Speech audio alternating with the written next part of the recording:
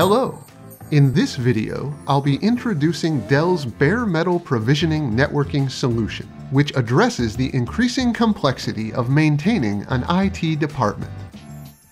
Bare metal provisioning, or BMP, is one of several networking automation techniques in the industry.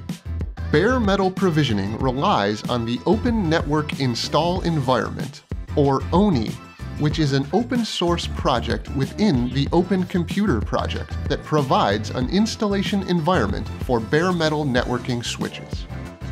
ONIE also provides the option to install different network operating systems on a common set of networking hardware.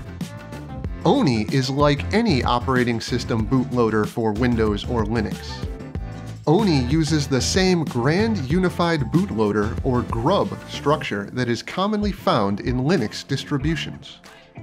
BMP optimizes a deployment through automated provisioning of the hardware, such as networking switches, using predefined configurations, and the operating system using Dynamic Host Configuration, or DHCP, and common file transfer mechanisms such as FTP, TFTP, or HTTP.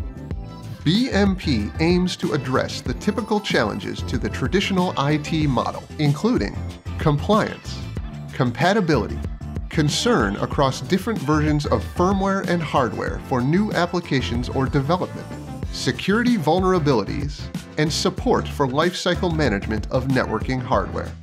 So how does BMP work? It consists of three components. Bare metal, hardware BIOS with post, the system bootloader, and the network operating system. Bare metal is the hardware, and the system bootloader is an ONIE that loads and starts the boot time task of a network operating system into working memory. The network operating system is the software component that acts as an interface between the Dell switch hardware components and the end user. The bare metal provisioning process works like this. Step 1 when an ONIE-enabled network switch boots for the first time, the bootloader launches the kernel. This starts the ONIE Discovery and Execution, or ODE, application. Step 2. The ODE uses several methods, like local file, DHCP, and multicast discovery protocols to download and locate via HTTP, TFTP, or FTP an OS image and predefined configuration once the installer is found. And finally, step 3. The ODE starts the installer, which then proceeds to provision the switches. The best practice, with options available for implementing the network operating system on bare metal is Dell SmartFabric OS 10, Sonic to Enterprise Sonic Distribution by Dell Technologies, and third-party software, vendor, and application.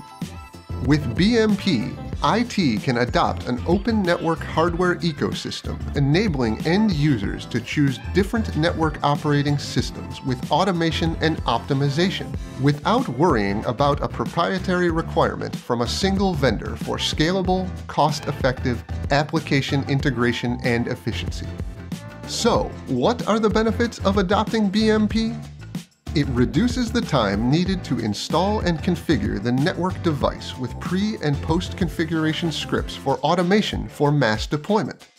It helps eliminate configuration errors and ensure consistent configurations. It's based on an open source system, an open network operating system to diversify the application ecosystem. And it disaggregates software and hardware.